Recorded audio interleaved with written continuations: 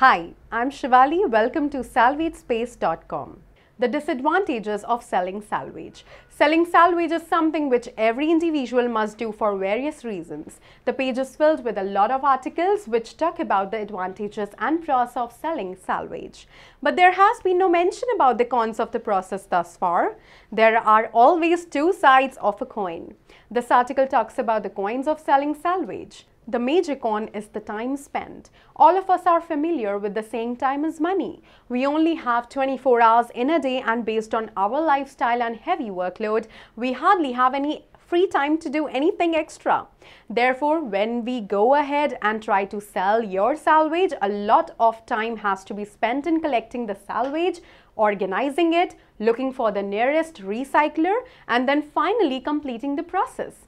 Most of us don't have that luxury of time and feel that we can better invest our time than in selling salvage. Therefore, for the extremely fast-paced lifestyle, finding the time is going to be hard.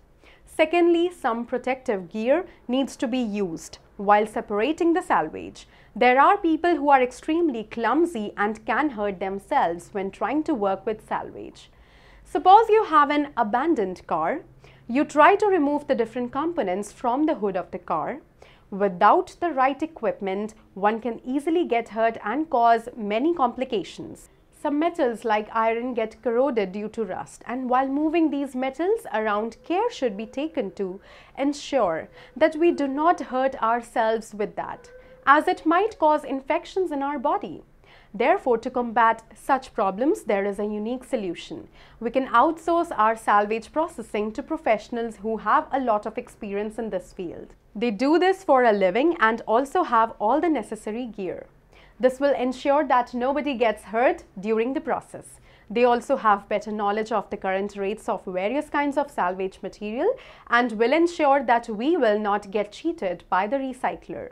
They can either sell it to the recycler themselves or they can help you in doing so. Either way, this will help in negating the cons of this essential process. For more educational videos, subscribe to our YouTube channel. We'll be happy to see you as a registered user with us at www.salvagespace.com.